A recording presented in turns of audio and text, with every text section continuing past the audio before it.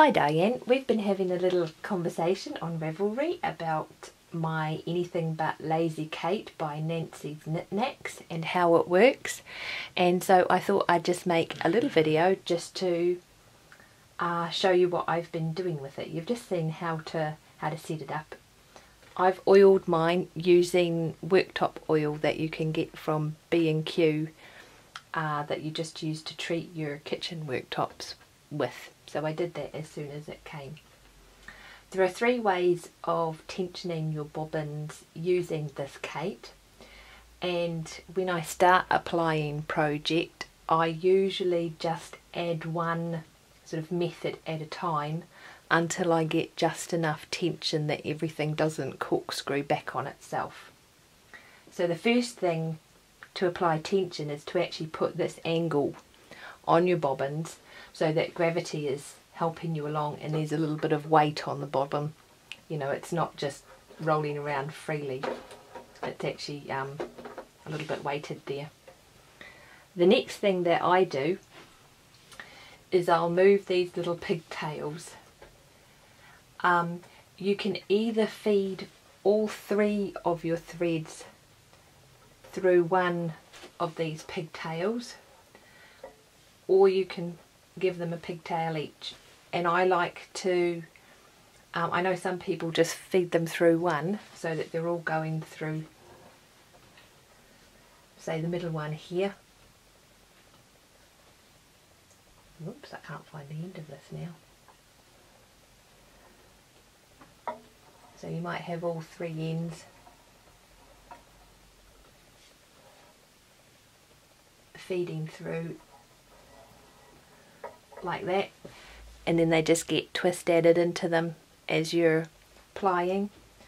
Um, I actually like to have them all come out separately so I can see what's happening with all three singles. I had one that I hadn't spun very well recently and one particular single kept breaking because it was just too loose and weak.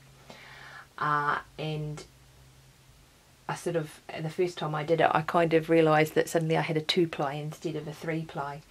So I like to put them through their own separate pigtails so that I can watch them come onto the wheel. But that's just my personal preference. Okay, so I have them coming through like this. It's really easy to thread up with one hand, this thing, so I've lost that end again. Oh, where's it gone? Here we go. Right, so the second way of adding tension then is to actually turn these pigtails around so that your yarn, your single, actually makes a zigzag as it comes off the bobbin. So it's coming out here through there as kind of a dog leg and then out towards you and that actually, that angle adds quite a little, quite a bit of tension onto the bobbin. Um, and can be enough. Usually I find most of the time that's enough just to make sure that I don't end up with twist backs on the single.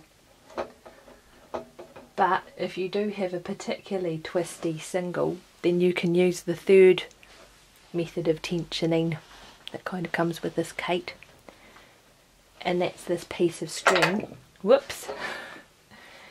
That's this piece of string.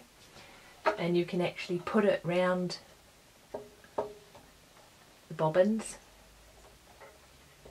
I've actually managed to do this with one hand as well even though I look rather inept right now. So you can put it round all however many bobbins you've got on here. Maximum of three obviously. And then just tight put a bit of extra tension on that way um, but I think I've only used that about once because as I say it's kind of like the last tensioning method I use and usually between those three I can get enough tension on there that I don't have any problems with the bobbin spinning back or getting little pigtails or anything. So I'm going to try and make a video of this in, in motion I'll see how I get on with that. But I hope that sort of answered some of your questions as to how useful it was going to be for you and how you'd get on with it. Cheerio.